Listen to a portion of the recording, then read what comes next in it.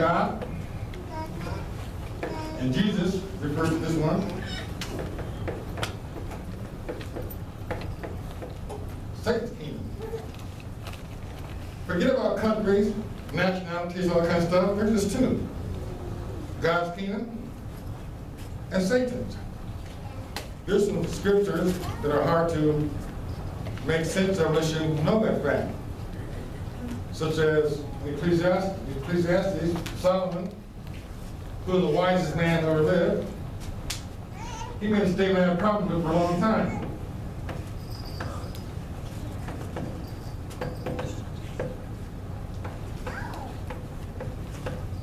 He said, there's no new thing under the sun. Same verse goes to say that that which is, is that which hath been. You see, get anything say, see, this is new or that's new. Now, I feel like computers were something new. I, I, you know, the old computers came out in the 50s and 60s. Now, they had like, their size refrigerators, and they had a whole spank of, you know, on, on the whole wall. And they did less and held less memory than the ones we use now, the desktop. But I thought that was brand new. Computers are brand new. Jet travel hasn't always been around. It came out shortly after World War II. That, I would call that new. Television came out in the 50s. That revolutionized the whole world. That was new. Color TV came out in 1961. That was new, I thought. And this man says there's nothing new under the heavens. What are you talking about then, Solomon? This stuff. He said everything that we have in our world that we kind of think is new and modern and technologically advanced, he said it came from that kingdom. They've been having it. I told you a few times how that Chuck Yeager, the test pilot for the Navy, flew the latest jet up the West Coast. Was nothing like Mach 1. And when he's flying there, he said five craft flew beside him and slowed down. He's traveling, he's pushed his plane to its limits. He's testing it. Brand new aircraft. He said he pulled him and slowed down and looked at him. And then he said he made a 90 degree turn. I saw the streak of light. You remember when you watch Star Wars? Mm-hmm. And when he did that blast, and then it goes, he said that's exactly what he did. He said you saw a blur as all five of them made a 90 degree turn in the air. Nothing to do that. That's just aircraft. You you're in a jet, they can turn tight if the pilot can stand the G-force, but you they, they still take a little bit of area to turn. She said, this thing's turning like a car turning a corner at a stoplight. They turn 90 degrees and we're gone.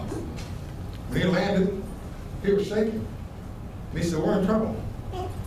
He said, this is our best right here, our latest. He says, five craft passed in the sky. They slowed down to look at me and then went up like a blur of light. And they didn't, they didn't squelch the story because he couldn't talk about it. It didn't come up to like 25, 30 years later. We have the new stuff. We got new computers, all that kind of stuff. His kingdom's had it for a long time. And what he wants to do is take over this world. And that's exactly what he plans to do. And this we're going to read this from the Intergalactic Federation of Planets. It's all stuff from Star Wars. First I read it, I knew it wasn't science fiction. I said, this, who wrote this is serious. You I'm talking about first contact, coming down, so on and so forth. Then the Lord showed me how the scripture, and it's again, it's something you could not have figured out by intellect. In Luke,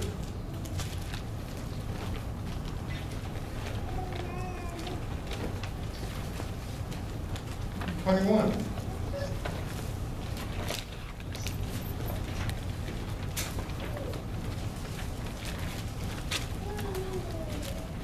Jesus prophesied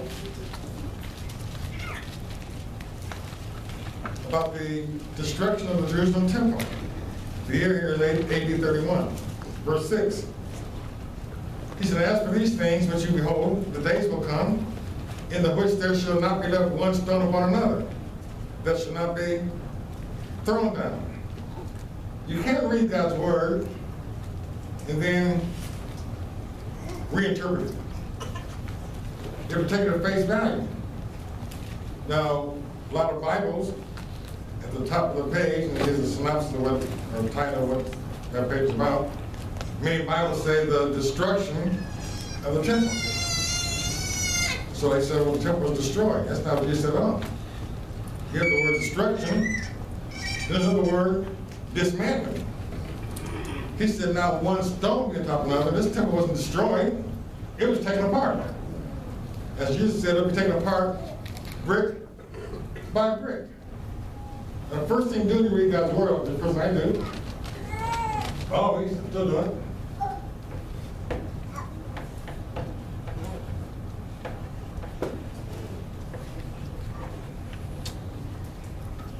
I ask those questions. How is this going to happen? Why would it happen? When will it happen? Now, I've talked this many times, I said this was a proof prophecy. For the most part, a lot of in the Bible that are given in the Old Testament, they take hundreds of years to come to pass. It's very seldom a prophecy is given that comes to pass in a person's lifetime. This prophecy here was given AD 31. It was fulfilled in AD 70. Titus, the Romans came in. And they burnt the city, and they burnt the temple. But remember, it says, verse 5, and as some of them spake of the temple, how it was adorned with goodly stones and gifts. This is one of the most decorated buildings in the world. It was inlaid with gold and costly stones.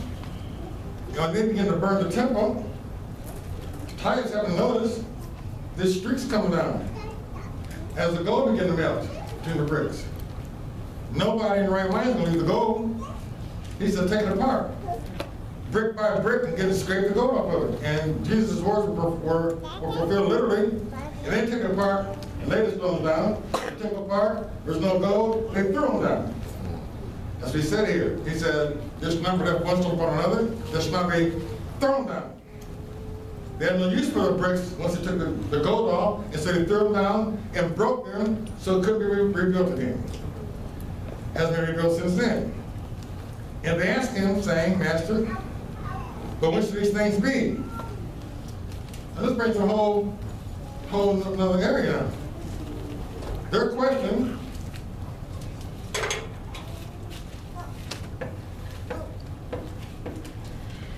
is when. To look at that question. When it requires a date. A lot of people are against what they call date setters in God's Word. They understand that God is the ultimate date setter. He does no wrong in His Word. He talked about the flood. He said, my spirit's not going to always strive with man. I got, I got an ending date with man. I'm going to destroy him. But then he goes on and he says that. And he gives a date. Get his date shall be 120 years. Read your Bible. The flood began on Noah's birthday. When Noah turned 600, the ark, the flood started. So Noah was 480 years old when God first gave the flood message. And he helped that message for 120 years. We're disappointed since 97. Imagine being delayed for 120 years. Waiting on God's word. He told Abraham, he said, your seed's going to be as strangers in a strange land. They're going to be slaves, actually, under hard taskmasters. He said, a whole period of time, 430 years. If you know what date it is that was spoken, then God has given a date same date, 430 years later. Right?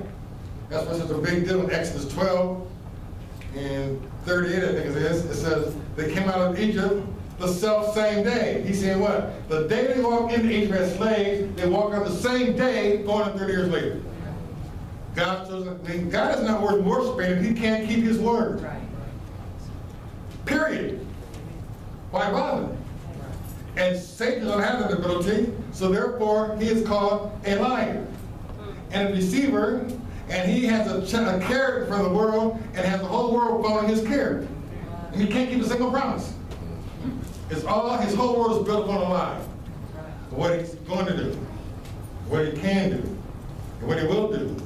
But he never, never, ever, like these guys, he never gives a date.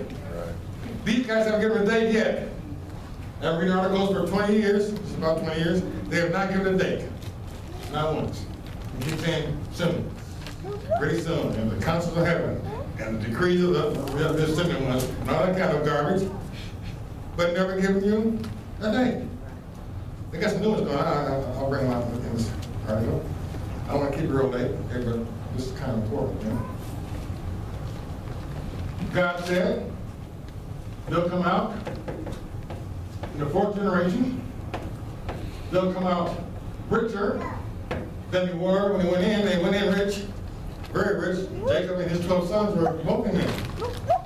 They could buy, had so much money, they could buy food for the whole seven years of famine in Egypt, in the world. Fourth generations. And God kept his word. That's why Pharaoh, you know, Satan, he can't make these kind of pronouncements. But he's always standing by in case God's word comes to pass. You gotta give him credit, more credit than most people hear God's word in that sense. A lot of folks hear God's word, just uh, ignore it. Satan doesn't believe it, but he makes plans that there's a will. And so the fourth generation came, he started killing other boy babies. Why? Because God said a deliverance going to come in this in this particular year. And the 430 years almost been expired now. And so a man named Moses was born. And, you know, to make sure that this doesn't come to pass, let's kill the boy babies. And that way this deliverer can't come. And God put one, God put a number on him. That shows how how powerful God is. His mother, not wanting to kill the baby, she put Job, she put Moses in the, in the basket and pushed him on the river Nile. And had a sister peeking through the bushes to see what happened to him. And it so happened that God floated that basket down to the place where Pharaoh's daughter takes a bath.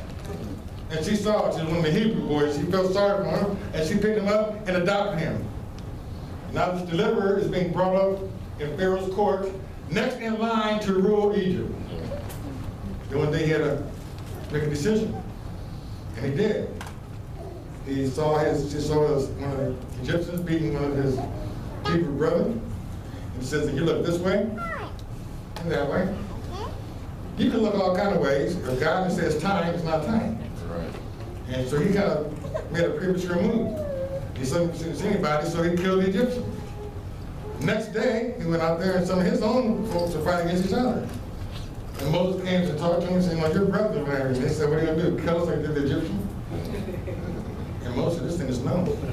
And at the age of 40, he was on the run because the word got back to Pharaoh. And Moses killed, Moses killed one of your soldiers. You know, this is supposed to be our, our deliverer, and he's killing one of your soldiers. So Moses ran at the age of 40. His whole life changed at that point.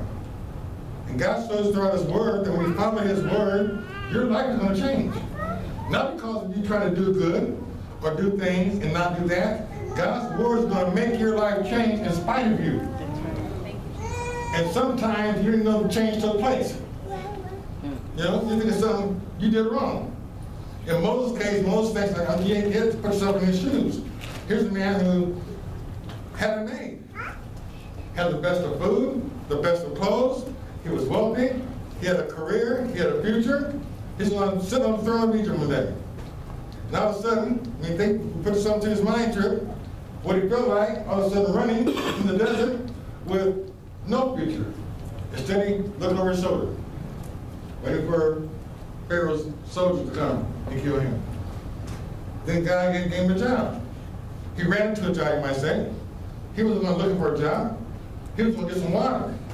And when they were coming to, to water the city, the, men, you know, they, they kind of bogarted the women at the watering well. And Moses stood up for them. And he made sure the women got their, their cattle watered. And out of that, he got a wife. He wasn't looking for a wife either. but he got a wife. The Bible says a man obtains a wife, he has obtained favor from the Lord and has found a good thing. And God gave him one. And then his father-in-law was a shepherd. He owned sheep. So Moses started and got a job tending sheep. Did that job for 40 years. Got a mother again, what through his mind for 40 years when he knew what his future was going to be? He made this mistake, and now I ruin my whole life. You can't ruin your life with God if you're in God's hands. You can't do anything to yourself if you're in God's hands. I mean, it looked like things were going all wrong, but you're in his hands. He runs your whole life. Every detail of it. You can't do anything wrong in his sight because he got the wrong factor in. I'm saying? Yeah. Understand that? Yeah. He's got your failures factored in, he got some mistakes factored in, he's got your murder factored in, he has everything worked out. On his plan. When they sold Joseph, they sold this man, his brothers. His life was over. He gets down to Ishmaelites, taken out of Egypt, and a man named Potiphar, who's like a captain of the army in Pharaoh's government, and Potiphar buys him. It makes him a houseboy, you might say. This says that whatever Joseph did, God blessed it. Just like I pray for you guys, said, I pray that you have favor on your jobs. That God give you favor in certain situations. And God does that. Not because of who you are, but because of the favor, God just shows your way. You, you, you, you have, have a job and you wonder why, you know, things are going so well. I'm getting early raises. I got a job out when AT&T fell apart. I thought my life was over. That's the best job I had. All of a sudden, it's not there anymore. You know? And I got a job at a rinky-dink college teaching telecommunication. And the pay was not even near what it should have been. And God gave me favor with the, with the director of telecommunications. And after the first month, I mean, some, some things that God does are just unbelievable. They gave me a four dollar a four dollar raise after the first month. Then the next month, the second month, they gave me another four dollar raise. I was making more than I was making AT&T a sudden. I said, God can just do anything. I haven't sold God short since then. He runs the show. You know, some things happen in life, we feel like our life fall apart. You know, sometimes God has to make your life fall apart to put it together. And that's what he does. You know, he said the building, the, the temple to be destroyed for God to build a new one. It's going to come along when Jesus walks in. But it had to be destroyed. Well, he sets dates. They said, when should these things be? Now, here's, uh, here's where I want to be. He said, take heed. They be not deceived. What does that tell you? It tells you this. You watch movies. Special effects are going to dominate the age you're living in. Special effects aren't putting the movies to entertain you the movies. Special effects are things Satan's trying to make the whole world change. You hear me? These chemtrails. You get up on a nice clear day, and all of a sudden you see these planes flying over. Leaving behind what's called uh, jet vapor. It's not jet vapor at all. Jet vapor goes away few minutes. This stuff stays in the sky. If you watch it, it went on for years before the public even aware of it. It was never on the news, it was never on the weather, never. Never talked about it. But these clouds begin to spread out. And before you know it, in about two or three hours, the day is clouded. He's doing a great, he, he's preparing a special effects for the whole world. And he's got to do that. And part of his, part of his, God just told me this last week, I tell you, part of this scenario is that for what he's doing up in the sky, he's got to cover the sky so you can't see it. And that's the reason it's being done all over the world. He's ready for a very big illusion. So Jesus says, take heed that no man deceive you. He's giving a clue saying there's going to be massive deception in the last days, and nothing's going to be what it appears to be. Nothing's going to be nothing's going to be what you think it is. Okay? We're going to be lied to right and left. We're going to be lied to by the government, by your president, by the news media. They're going to lie, lie, lie all the time make you believe it. That's their job. Okay? I'm, I'm, I'm looking back. I'm looking at that that marathon bombing in Boston, the Holy Communion. From that, from that bombing, they closed down for the first time ever in our history, they closed the city. They closed it. Now that's a bit drastic to find